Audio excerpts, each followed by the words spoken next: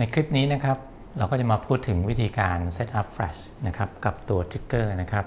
เพื่อให้มันสามารถที่จะควบคุมเจ้า flash trigger ทั้ง 2 ตัวแบบนี้ได้นะครับ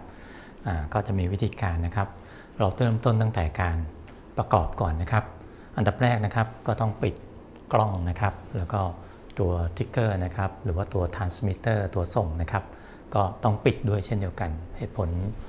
เพื่อไม่ให้เกิด error ขึ้นมาระหว่างกลางทางนะครับ ปิด power off ตัวกล้องก็ปิด power off ทั้งคู่นะครับทำการใส่ตัว trigger นะครับเข้าไปกับตัว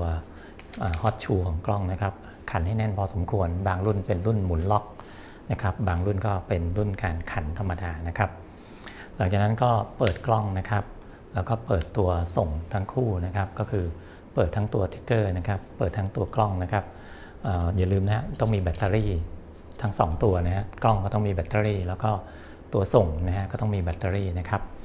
อันนี้พอเราถ้าเป็นตัว trigger ที่มันรองรับกับตัวกล้องหรือรู้จักกันนะครับ ก็แทบไม่ต้องทำอะไรเลยนะครับ ก็แค่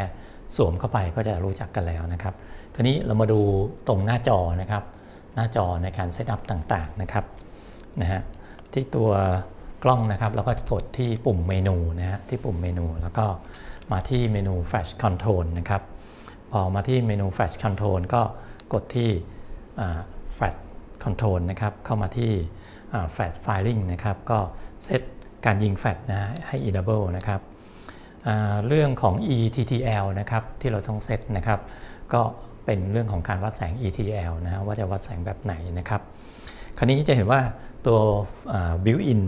built-in flash function setting นะเรากดเข้าไปจะใช้ไม่ได้นะครับ เพราะว่าตอนนี้เราต่อ hot shoe แล้วนะครับ ตัวกล้องเองก็จะ ไม่สามารถที่จะควบคุม เพราะว่าไอตัวกล้องตัว flash built-in เนี่ยมันจะเด้ง pop up ไม่ได้แล้วนะครับ จริง pop up ได้แต่ไม่ทำงานนะครับ ตัวนี้กล้องมันมีการเช็ค built-in flash คราวนี้มาถึงตัว external flash นะฮะ function setting นะครับ ตัว external flash function setting เนี่ยพอเรา enter เข้าไปนะครับ ก็จะมาเซตเป็น flash mode นะครับ คราวนี้แน่นอนฮะ ถ้าตัวส่งของเรารองรับ ETTL นะครับ ตัวรับก็รองรับ ETTL ก็ให้เข้ามาที่ ETTL นะครับนะฮะเสร็จแล้วก็นะฮะ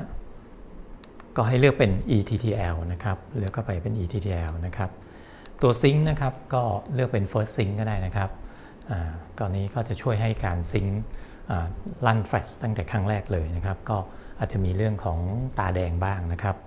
ก็ส่วนใหญ่แล้วถ้าไปใช้กับพวกแฟลชที่เป็นพวกสลับแฟลชที่ใช้ การกระตุ้นด้วยแสงนะครับ ก็ให้ใช้เป็น first curtain นะครับ หรือว่าครั้งแรกนะครับเรื่องซูมออโต้นะครับ การตั้งค่าการซูมออโต้ wireless function ให้ enable ใช่นะครับ ก็คือให้เป็นส่งแบบ wireless นะครับ นะฮะ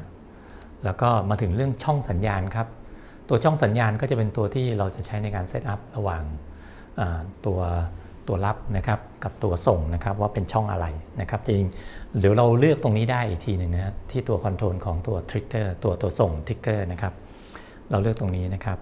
เราก็เข้าช่อง1นะครับก็เหตุผลที่มีหลายช่องเพราะว่าบางทีเราไปใช้กับแฟลชหลายตัวนะครับหรือว่าตัวผู้คนแต่งคนต่างคนต่างก็มีตัว external flash กันมานะครับแล้วก็มีตัว transmitter มา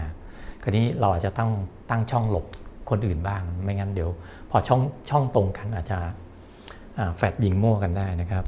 อันนี้การ firing group นะครับ firing group ตรงนี้นะฮะเราจะ firing group เป็น AB นะครับในสถานการณ์ที่ผมสาธิตจะเราจะมีไฟ A นะครับฝั่งนี้นะครับแล้วก็ไฟ A ไฟ B นะครับไฟ B ฝั่งนี้นะครับเพราะฉะนั้นเราก็เลยเลือกเป็น AB นะครับเพราะฉะนั้นถ้าเรามีถึง 3 ตัวนะครับเราก็จะเลือกเป็น ABC นะครับตรงนี้นะครับเราจะเลือกเป็น ABC นะครับนะฮะ AB นะครับหรือ AB นะครับวันตรงนี้ผมมีแค่แฟลช2ตัวก็จะเลือก AB นะครับ ถ้ามี 3 ตัวก็เลือกเป็น ABC นะครับนะฮะแล้วก็เรื่องของการตัดปรับสัดส่วนระหว่างระหว่าง A กับ B นะครับก็มาเซตในตัวกล้องได้แบบนี้นะครับ ว่าจะเอา A มากน้อย A กับ B มากน้อยสักเท่าไหร่นะครับแล้วก็เซตที่สัดส่วนของระหว่าง A กับ B นะครับ ซึ่งตรงนี้เราก็สามารถที่จะเซตได้ทั้งบน ตัว wireless ticker กับบนตัวกล้องนะครับ ซึ่งตัวกล้องข้อเสียก็คือ เราจะต้องมาเข้าเมนูแบบนี้นะครับ คราวนี้พอเราเซตเรียบร้อยแล้วนะครับ อันนี้เราก็จะทดสอบนิดนึงว่าตัวกล้องกับตัวทิกเกอร์เนี่ยทำงานเข้ากันได้ดีไหมนะครับ ก็วิธีการทดสอบก็คือก็ลองปรับค่าของกล้องดูนะฮะ ถ้าเราปรับค่าของกล้องแล้วนะครับ ระหว่างที่เราปรับค่ากล้องนะครับ ไม่ว่าจะเป็นการซูมนะฮะ ไม่ว่าจะเป็นการ ตั้งค่ารูรับแสง f stop นะฮะลองดูว่าที่ตัว trigger เนี่ยค่าเปลี่ยนตามไหมนะซึ่ง trigger ก็จะมีหน้าจอนะครับแสดงนะครับว่าเราเปลี่ยน ISO เป็นเท่าไหร่นะครับซูมเป็นเท่าไหร่ หรือว่าค่ารูรับแสงเป็นเท่าไหร่ ถ้าเราเปลี่ยนแล้วบนนี้นะครับ มันเปลี่ยนตามนะฮะหรือว่าเรากดปุ๊บนี่มอเตอร์มันทำงาน ก็แสดงว่าใช้ได้แล้วนะฮะฝั่งนี้ก็เป็นเช่นเดียวกันนะครับนะฮะหลังจากนั้นก็ลองยิงแฟลชดูสักหนึ่งครั้งนะครับพอ พ อยิงปุ๊บมีเสียงทั้งคู่ก็แสดงว่าใช้ได้นะครับ นี่คือการเราตั้งช่องสื่อสารกันนะครับตัวนี้ดังช้ากว่าแสดงว่าแบตตัวนี้ใกล้หมดแล้วนะครับนะไอ้เสียงติ๊ดเมื่อกี้เป็นเสียงเช็คว่าตัวแบตเนี่ยตัวแฟลชเนี่ยได้ทำการรีชาร์จ capacitor ที่อยู่ในแฟลชพร้อมหรือยังนะถ้าอย่างนี้เอ๊ะช้ากว่านะตัวนี้เร็วกว่า แสดงว่าแบตของตัวทิกเกอร์ของตัวแฟลชตัวนี้ใกล้หมดแล้วนะครับ หัวใจสำคัญก็คือเราต้องตั้งช anel นะครับของกล้องนะครับอของตัวรับนะฮะเราตั้งเป็น AB ใช่ไหมครับใช้ channel 1นะฮะที่ตัวรับก็ต้องเป็น channel 1 AB นะฮะฝั่งนี้ตั้งเป็น B นะครับตอนนี้ channel 1 ตั้งเป็น A นะครับก็จะตรงกันนะครับ คราวนี้พอเราตั้งแล้วนะครับ มันทำงานแล้วนะครับ คราวนี้เราก็จะมาที่ตัว control fact นะฮะที่ตัว คอนโทรลของตัว trigger หรือตัว transmitter นะครับ เราก็จะทำการปกติแล้วเราเลือกโหมดถ้าถ้ามันคุยกันกับตัวกล้องรู้เรื่องนะครับ เราเลือกโหมดอะไรตรงนี้ก็จะเป็นโหมดนั้นทันทีนะครับ ไม่ว่าจะเป็น manual ไม่ว่าจะเป็น ETTL นะครับ ก็จะสั่งจากตัวนี้ไปได้เลยนะครับนั้นพอเข้าโหมดนี้แล้วนะครับ เราก็จะกดสัดส่วนนะฮะระหว่าง A กับ B นะครับ ว่าจะเอาเป็นน้ำหนักเท่าไหร่นะครับ อย่างตัวนี้ผมเซตน้ำหนักให้เป็น1ต่อ1นะครับ ก็พร้อมแล้วนะครับ ก็พร้อมถ่ายได้เลยเหมือนที่เมื่อกี้เราถ่ายไปแล้วนะครับ เราจะเซตน้ำหนักกดลงไปนะครับ แล้วก็เปลี่ยนน้ำหนักให้เป็น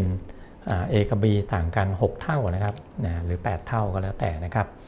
เราก็พร้อมได้เลยนะฮะก็เปลี่ยนจากตรงนี้ได้เลยนะครับ นี่คือลักษณะของการ setup แฟลชนะครับ เพื่อใช้กับ external flash นะในโหมด AB นะครับ ก็จะมีวิธีการไม่ยากนะครับ ก็เริ่มต้นจากการเอา แฟลชติดกับตัวกล้องนะครับ ถ้าเป็นแฟลชรุ่นที่มารองรับแล้วก็ setup ตัว enable wireless ให้เรียบร้อยนะครับ หลังจากนั้นก็เปลี่ยนโหมดเป็น AB นะครับ หลังจากนั้นก็ไป control จากตัวหน้าจอตรงนี้ก็ได้นะครับ ซึ่งจะง่ายกว่านะครับว่าจะเอาน้ำหนักแฟลชตัว A ตัว B นะครับ น้ำหนักแฟลชตัว A น้ำหนัก 2 ตัวนี้ห่างกันเท่าไหร่นะครับ นอกจากนี้ก็ถ้าเป็นตัวที่มันคุยกันรู้เรื่องก็จะง่ายกันแบบนี้นะครับ หลังจากนั้นก็ถ่ายได้เลยนะครับ